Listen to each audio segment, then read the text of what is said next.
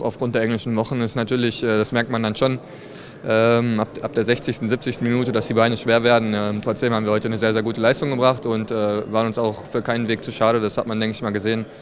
Äh, eigentlich so gut wie gar keine Torchancen zugelassen. Äh, klar, in der, Nachspielzeit wird es dann ein bisschen hektisch.